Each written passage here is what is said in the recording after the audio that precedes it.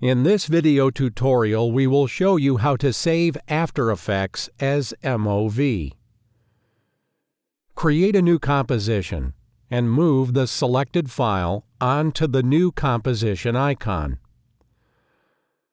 Go to the Composition menu and select the Add to Render Queue option.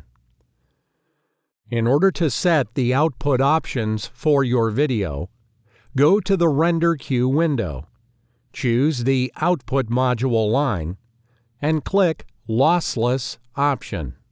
In the appeared window, find the Format option in the Main Options tab, and choose QuickTime from the drop-down menu. Then check the Audio Output option. Set the audio quality mode to 48.00 kHz, 16-bit, stereo, and press OK.